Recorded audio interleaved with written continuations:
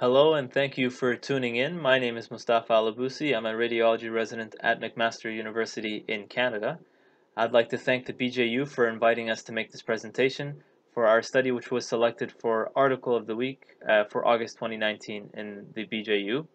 I'm going to take the next few minutes to tell you about our project which looks at uh, the use of different MRI protocols to detect prostate cancer.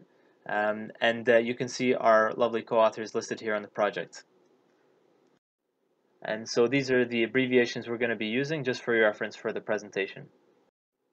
We'll start off with a bit of background. So prostate cancer is the second most common cancer affecting men, and it's been found that targeted screening with uh, digital rectal exams and PSA levels can reduce mortality, uh, whereas prostate biopsies and pathology are the gold standard for diagnosis.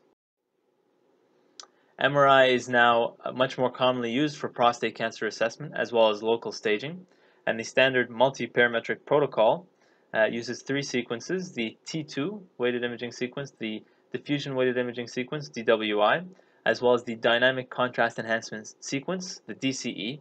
And we're going to focus on this third one, the DCE, as it uses gadolinium and requires a longer scanning time.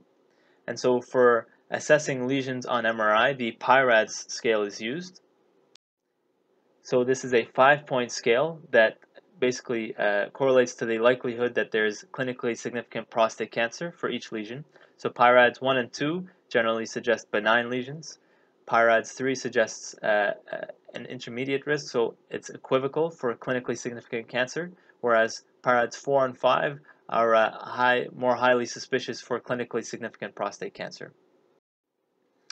And so within the peripheral zone, scores are mainly based on the DWI sequence, um, and in this one, the DCE, which uses contrast, actually applies and it may upgrade PI-RADS 3 lesions to PI-RADS 4 if it's positive. Whereas within the transitional zone, the scoring is mainly based on a T2 weighted imaging sequence and the DCE sequence does not affect scoring of lesions in this zone. And so our objective was to perform a diagnostic test accuracy systematic review and meta-analysis to compare two protocols the first is the standard multi-parametric MRI protocol, which uses the three sequences we discussed. Um, and to compare that to an abbreviated biparametric MRI protocol, which uh, uses only the T2 weighted imaging and the diffusion weighted imaging sequences. And we wanted to see how the two compared in diagnosing clinically significant prostate cancer in treatment naive patients. So we performed this systematic review and meta-analysis we identified 31 studies, including just over 9,000 patients, and we found that biparametric MRI seemed to be non-inferior to multiparametric MRI in detecting prostate cancer in treatment-naive patients. So sensitivities for the two ranged between 86 to 90%, whereas specificities ranged from 70 to 73%, and both had overlapping confidence intervals for diagnostic accuracy and as well we can see there are overlapping comparative summary ROC curves for the two MRI protocols. What does this mean for us? Well, our findings suggest that the biparametric MRI protocol is non-inferior to the standard multiparametric MRI one in detecting prostate cancer in treatment-naive patients.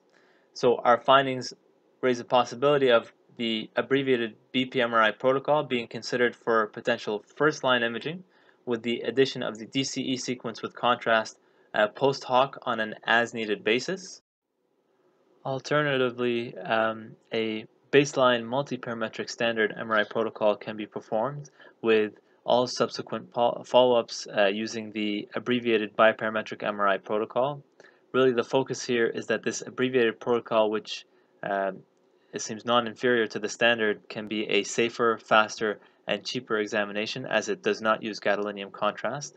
There's even studies now that are looking at biparametric MRI as a screening exam for prostate cancer, and we're excited to find out uh, more about what the results show for those. Thank you so much for listening. I hope you enjoyed the presentation.